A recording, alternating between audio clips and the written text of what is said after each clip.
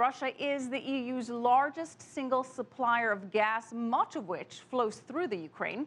A row between Kiev and Moscow choked off EU gas supplies in 2009, and many Europeans are wondering whether the current crisis will also hit closer to home when it comes to energy. Jack Barton has this report from Brussels.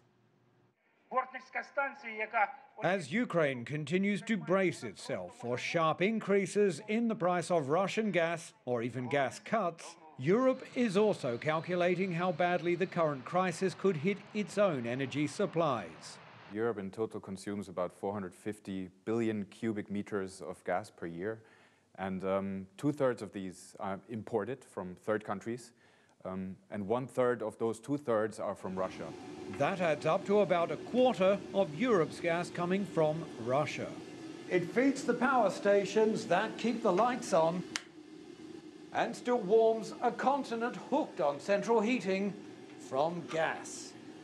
About half of the EU's Russian gas supplies run through Ukraine. And in 2009, when the Kremlin cut gas during a row with Kiev, it caused havoc in Western Europe. But that was during a very harsh winter, while the winter just passed was particularly mild. The stocks are fairly well stocked. Uh, we're going now towards uh, summer, so we're not talking about an immediate crisis. Analysts warn contingency plans should still be drawn up. There are options for Europe, um, but it would take time, and there has to be a decision very quickly of whether Europe needs to react to the crisis in the Ukraine and Russia. Shutting off the valves would also hurt Russia.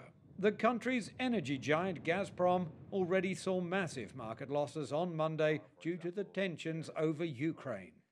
Gazprom lost uh, more money than the German airline Lufthansa is worth in total. So these are considerable amounts of money that um, Russia will not be able to, to, um, you know, to take for a sustained period of time. European Union energy ministers echoed those sentiments on Tuesday, saying that despite the crisis, Brussels and Moscow had agreed there was too much to lose for both by a major disruption to Ukraine's gas pipelines.